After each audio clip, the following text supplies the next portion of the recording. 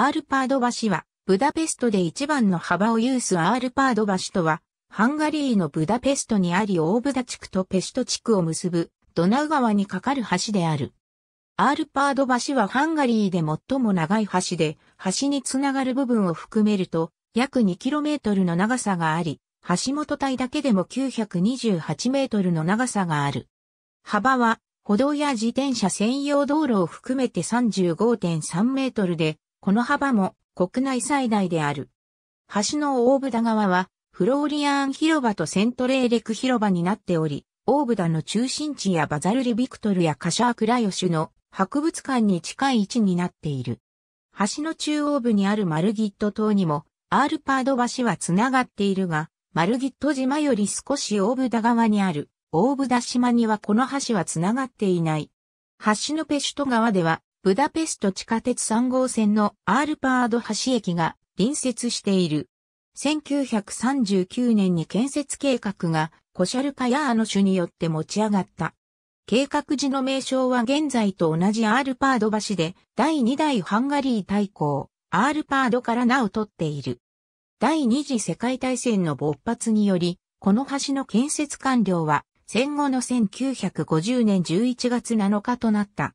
また、当時は共産主義地制下であったので、この橋はアールパード橋として開業せず、ヨシフ・スターリンから名を取ったスターリン橋として開業した。また、最後の工事は、セーキーカーロイとサーボイッパールによって行われた。柱は、原用の配置で設置されたが、元々の橋は片側1車線及び、鉄道線路、歩道の幅しかなかった。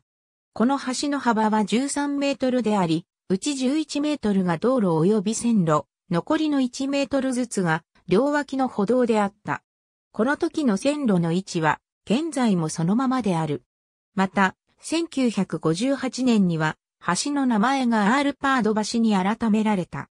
1980年から1984年にかけて大規模な拡幅工事が行われ、道路を片側に車線ずつ増やし、かつ歩道を拡幅した。また、トラムの線路が橋の両端にある交差点を通るようになった。この計画には近接するカーロイ・ローベルト通りとの3、車線道路及び線路の接続も含まれていた。